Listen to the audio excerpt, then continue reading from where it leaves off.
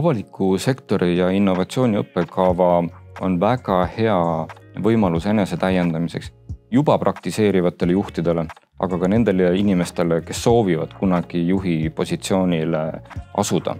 esiteks ja saan seda rääkida täiesti omast kogemusest, luua seda väga äh, akadeemilist alusvundamenti, et mis asi on avalik haldus, mis asi on avalik sektor ja mis on tema toimimise põhimõtted.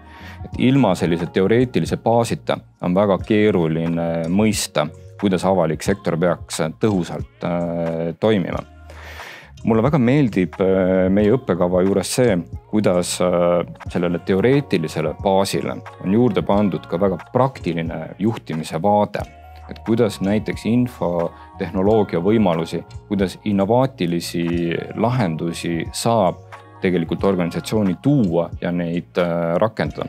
Paremini mõista, millised on need ühiskonna väljakutsed, millega me peaksime täna tegelema. kuidas tegeleda nurjatute probleemide lahendamisega äh, näiteks. Ja, ja ka väga praktiline vaade, saada uusi tutvusi saada endale uusi kolleege, kes juba praktiseerivad avalikus sektoris või, või plaanivad seda kunagi teha. luua sellist laiemat äh, pilti, et ise omaette õppides on tegelikult seda väga keeruline saavutada. kui ma peaksin minema õhtul koju ja hakkama teadusartikleid ja raamatuid otsima, neid läbi töötama, siis see tõenäosus ei ole ilmselt liiga suur.